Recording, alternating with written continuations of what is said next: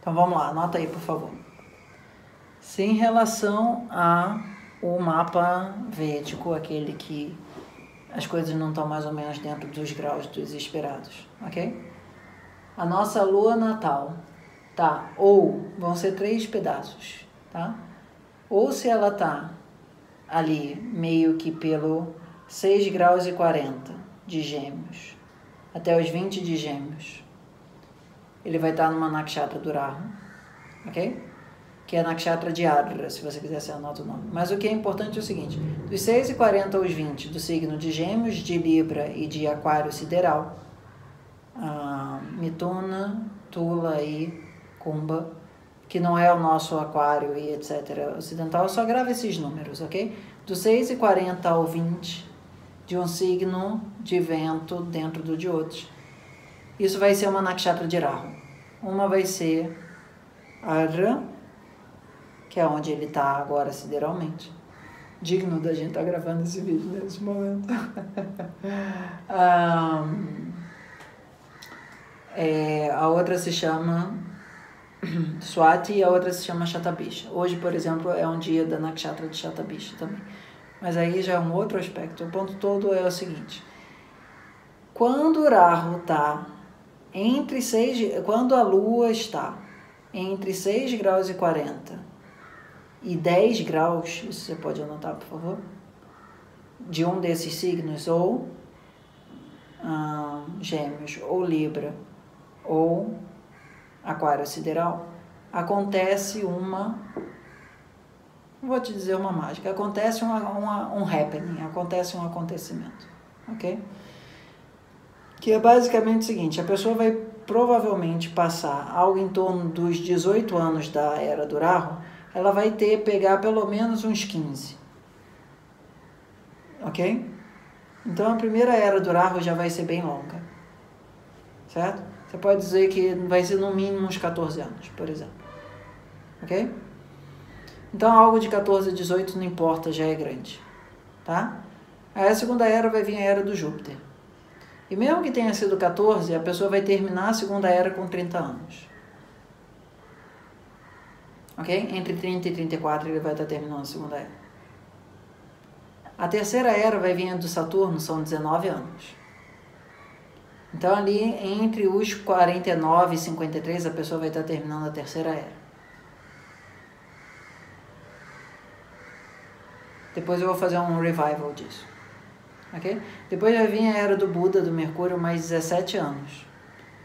E algo entre os 65, 66, 70 anos, no máximo 70, no mínimo 65, a pessoa vai estar terminando a quarta era dela. Anotou? Agora vamos ver qual é o problema disso.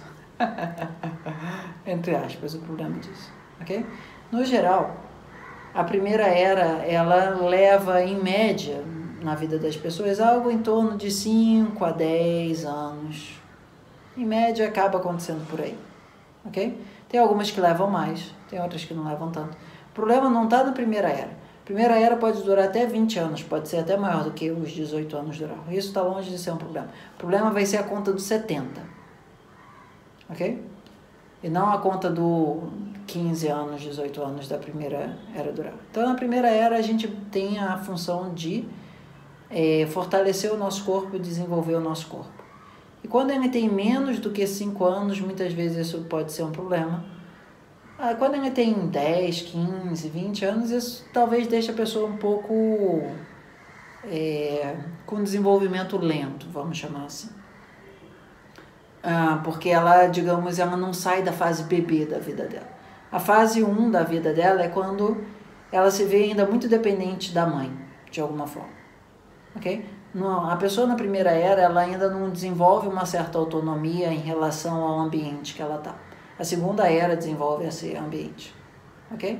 Não chega a ser um grande problema, não. Vamos ter um problema grande lá na terceira, na quarta era. E a gente vai, digamos assim, ter um desafio. Ok?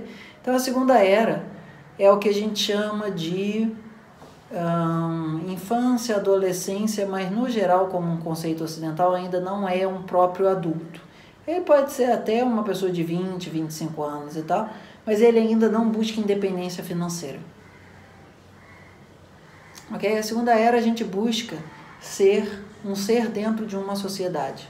A gente não está buscando ser um ser, é, digamos assim, suficientemente independente dos laços maternais ou qualquer coisa que seja. Ok? Então, é uma pessoa que nasceu no primeiro padá do Manakshatra Rahu, vai estar tá terminando isso, essa segunda era, entre 30 e 34 anos, que muitas vezes pode acontecer que apareça para os outros como uma pessoa meio acomodada no sentido de se o universo provém as coisas ao redor, a pessoa não tem uma necessidade interna de se prover. Ela aceita de bom grado, acha ótimo, tranquilo, de que a comida esteja sendo paga, o teto esteja sendo pago, a roupa esteja sendo lavada. Uma pessoa na segunda era, ela não tem a necessidade de fazer a vida acontecer meio que por ela mesma. Se o redor está bancando, tudo bem. Se não tiver, aí ele tem que correr um pouco atrás, mas é só o suficiente para a conta fechar. Ok? Então, essa segunda era, a pessoa terminando ela com 30, 34 anos, muitas vezes as pessoas ao redor podem começar a achar ela um pouco letárgica, preguiçosa, cheia de desculpa. Uma pessoa assim que não gosta de trabalhar, não. É uma pessoa meio, entre aspas, muito viajandona, muito, gosta muito de filosofar, mas de trabalhar que é bom mesmo. Digamos assim, é a peixe que essa pessoa, no geral, vai receber. Essa pessoa, ela, ela acha que a vida cai do céu. que não tem que fazer nada que a vida cai do céu. Ela vai começar a ser xingada na, segunda era, ok? Mas o problema mesmo vai ser na quarta. Ah, na terceira era, ela está ali com uns 30, 34, começando, que as pessoas no geral com 20, 25 estão começando. Ou seja, olhar e falar: agora eu preciso pegar a vida e eu subir no palco e eu fazer a vida acontecer, em vez de o palco estar tá fazendo a vida acontecer. Ok?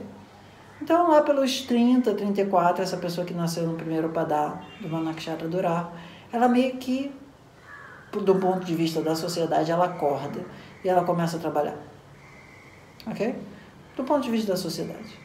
Para ela, ela só, tipo, ok, chegou a hora. Certo? Ela não se sente necessariamente mal, mas a sociedade fala, ufa, sabe? Que, até que enfim essa pessoa acordou, decantou, sabe? Tipo, cresceu, etc. E tal. Porque para a média da sociedade, a terceira era está começando 20, 25 no máximo, ali uns 27. Mas o ideal para a sociedade, digamos assim, para o arquétipo da sociedade, é entre os 25 e, sei lá, uns 28, essa, a terceira era está começando. Ela começando com 30, 31, 32, 33, 34, fica meio que um pouco. Sabe a pessoa que nasceu com 10 meses? Sabe, tipo, ela fica um pouco com a ideia de que está demorando um pouco demais de sair da casca do ovo. Ok? Aí vamos pegar essa questão. Aí essa pessoa ela vai trabalhar ali dos 30 aos 50, porque vai vir a era de Saturno, 34 a 53. E quando as pessoas já estão pensando em se aposentar ali nos 40, 45, ela ainda não. No 40 ela fala, ixi, ainda tem mais fácil 10 anos dessa era aqui. Eu ainda nem estou pensando nisso. Na verdade, parece que a vida agora está começando a tipo sair da universidade. Parece que o negócio está pegando no tranco. Então estou ficando animado. Ok? Então, quando todo mundo já está reclamando de que mudaram a regra da Previdência, não sei o que, a pessoa está falando, não, mas a vida tem muito tempo ainda para trabalhar, qual o problema? Se tiver que trabalhar até os 60, não tem o menor problema. Eu não me sinto necessário estar pensando em aposentadoria agora. Na verdade, eu penso em aposentadoria daqui a, sei lá, uns 30 anos. Você vai ver que essa conta vai fechar. Ok? Ou seja, ela é uma pessoa que ela começa tarde, mas ela muitas vezes não sente que tem que trabalhar pouco. Ela só Sente que ela levou um pouco mais de tempo de se encaixar, se encontrar, ou qualquer coisa nesse sentido. Fechamos a terceira era. Aí lá por volta dos 49, 50, 53, ela chega na quarta era. Quarta era vai ter mais 17 anos, o que potencialmente vai chegar até no máximo em 70. Ok? Ou 66, que seja 65, ok? Essa quarta era vai até os 66, 70 e tal, que é era onde a pessoa, a princípio, está pensando em comprar uma casa, está pensando em comprar um carro, está pensando em comprar um barco, está pensando em um, fazer alguma coisa que a vida dela seja mais confortável, coisa que no geral as pessoas estão pensando nos 40 ou 50, ok?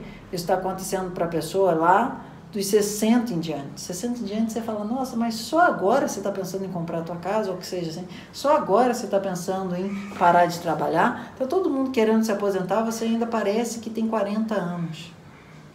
Ok? Por exemplo, hoje eu descobri que o meu professor de sânscrito ainda tem 52 anos. Eu falei, cara, 52 anos, você parece que você tem 40. Ele é um bom exemplo desse tipo de coisa. Ele tem um nível de trabalho ainda que 52 você fala, não, 52 tem alguma coisa esquisita aqui. Não era para ele estar trabalhando essa quantidade toda que ele está trabalhando, mas ele está lá animadaço, ok? Trabalhando fácil que nenhuma pessoa de 40 está trabalhando, olha para ele, 52 você não dá, com certeza não dá, ok? Então, essa é uma pessoa que, digamos, é meio que xingada no início, e depois as pessoas falam, ó, você já trabalhou demais, não precisa ficar trabalhando até você morrer.